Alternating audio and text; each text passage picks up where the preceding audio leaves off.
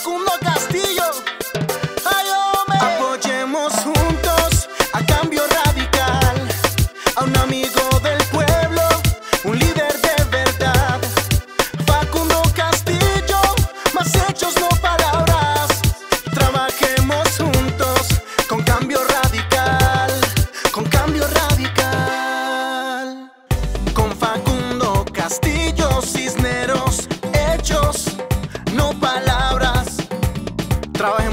por Arauca, marca solo el logo de Cambio Radical.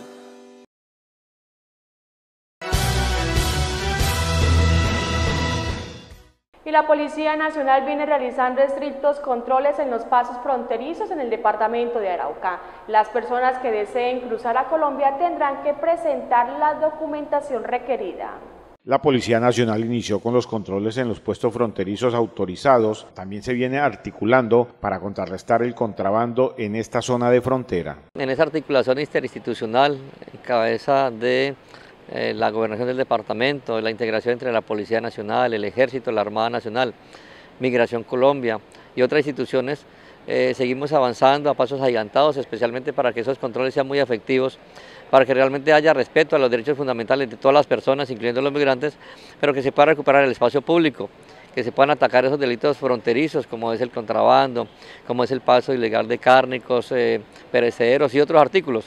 Ante todo es poder decir a la comunidad que la Policía Nacional siempre seguirá articulando y vamos a mejorar condiciones de seguridad y convivencia. Hay que hacer operaciones de impacto, hay que hacer actividades que realmente fortalezcan el aspecto social y que los niños, niñas y adolescentes, los ancianos, todos realmente se sean beneficiados de esa acción interinstitucional. En el puente internacional José Antonio Páez se está llevando control con los respectivos documentos a todas las personas que cruzan la frontera y los que no porten los carnets de vacunación serán vacunados en un puesto de vacunación habilitado. Sí, uno de los riesgos eh, de, poder tanto, tener tanto flujo migratorio es de que tanto lo que sucede en un país pasa en el otro. Entonces, eh, el aspecto de salubridad, el aspecto sanitario, todo lo que tiene que ver con esta propagación de, de virus y enfermedades bacterianas, pues hay que controlarlas.